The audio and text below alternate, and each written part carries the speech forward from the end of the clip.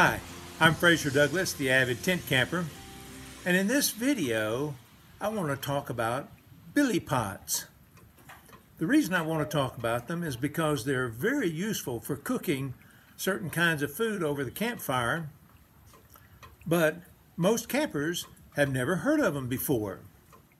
The billy pot is a cooking pot that looks like a tin can. It is tall and narrow, with straight sides and usually with a wire handle that's called a bail.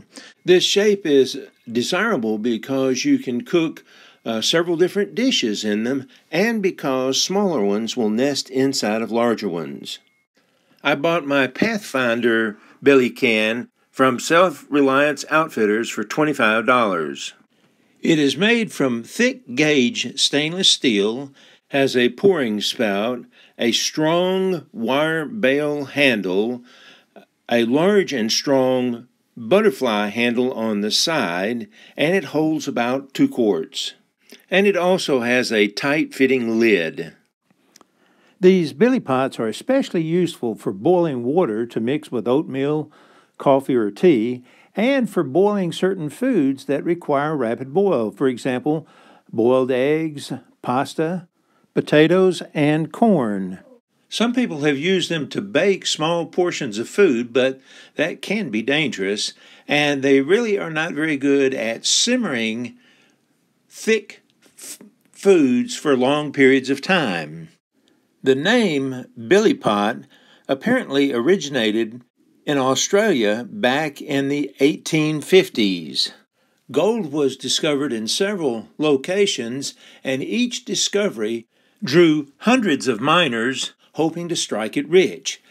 Much of the food consumed by these miners consisted of soups and stews that were packaged in metal cans. After the food was eaten, these metal cans were used to boil water for tea. The company that made these soups and stews was a French company by the name of Bouley, but when printed, the name of the company looked like Billy. Hence, the miners began to call these Billy cans. This is an old Billy can from that time. This photo of a group of miners shows several of them holding their Billy cans, or Billy pots.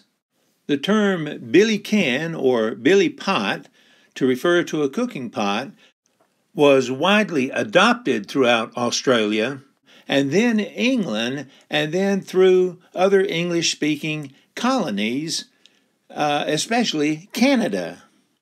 For example, this early scouting book, published in 1908 by Englishman Robert Baden Powell, frequently refers to a billy and has this photo showing a billy can hanging over a campfire. Although it was not called a billy pot, this type of cooking container has also been used in the United States since the, since the 1850s. For example, this wood engraving by Winslow Homer shows a group of Civil War soldiers sitting around a campfire with a, two billy pots hanging. This photo, taken after the Civil War, shows an early Western pioneer with four billy pots of varying sizes sitting near his campfire. According to tradition, the largest pot is used as a bucket to get water from the nearby river or uh, pond. The second largest is used to boil meat. The third largest is used to boil vegetables, and the smallest is used to boil water for tea. In 1903, the Abercrombie and Fitch Camp Outfit catalog shows a set of four billy pots along with plates, bowls, and utensils that can be nested together. And this drawing in Nessmuk's Woodcraft and Camping book, published in 1920, shows a billy pot along with a coffee kettle, a frying pan, and a larger stew pot sitting over the campfire. In 1987, the Canadian wilderness instructor Mors Kochanski showed several different ways to hang a billy pot over a campfire. After Kochanski's bushcraft book was published, a large number of people became interested in outdoor living and survival, and they became known as bushcrafters. These bushcrafters typically cook a lot of their meals in these billy cans. Perhaps the most famous of the billy cans are the stainless steel zebra pots. The zebra pots come in four different sizes, and the number refers to the diameter of the pot in centimeters. The 16 holds a little more than three quarts of water and costs $28. The 14 holds two quarts of water and costs $22. And the 12 holds one and a third quarts and costs $25. The 10 holds three fourths of a quart and costs $28. Pathfinder billy pots come in two sizes. I bought the smaller two quart stainless steel bush pot, but it is also available in a one gallon size. Four Dog Stove sells anodized aluminum billy pots in two sizes. The Mors Camp Pot, named after Mors Kochanski, holds about two quarts of water and costs $38, but uh, they also make a 1.16 quart size that sells for $30. Although these billy pots or bush pots are very popular with bushcrafters, they are not popular at all with backpackers. Backpackers typically heat their water with a small stove rather than a campfire. They heat the water in a low and wide pot rather than the tall, narrow pot. And then they pour this water into a bag of dehydrated food and eat the food directly from the bag. Modern tent camping families typically use propane stoves now, and small cook sets sold in camping outfitting stores or pots and pans that were sold in department stores for in home use.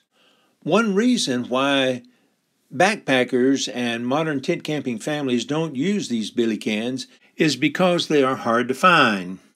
REI doesn't carry them, neither does Campmor or Backcountry.com. If you want one of these billy pots, you'll have to buy it from Amazon.com or one of the other online outfitter stores that carries them.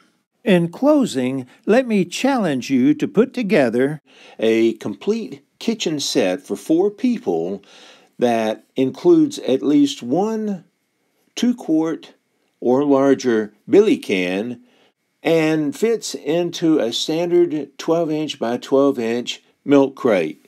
For more information about tent camping equipment, procedures, and destinations, please read my book, Basic Tent Camping. Watch my other videos on camp cooking. Visit my website, www.basictentcamping.com, and visit my Facebook page, Modern Tent Camping. Remember, take more trips, travel further, visit more attractions, and save money. Go tent camping.